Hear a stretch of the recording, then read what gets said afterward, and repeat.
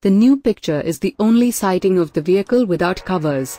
Earlier glimpses were of a development car that was under camouflage at the Nürburgring. The Nissan Juke Rival is due to launch next month and will be priced from about £15,000. It'll be the fourth SUV in Hyundai's lineup and is charged with taking Europe by storm, as part of ambitions to make Hyundai the biggest Asian car maker in the market by 2021.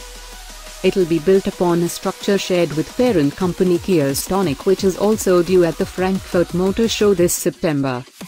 The Kona is described by Hyundai as a true S.U.V. suggesting it'll have four-wheel drive and could share technology with the larger Hyundai Santa Fe.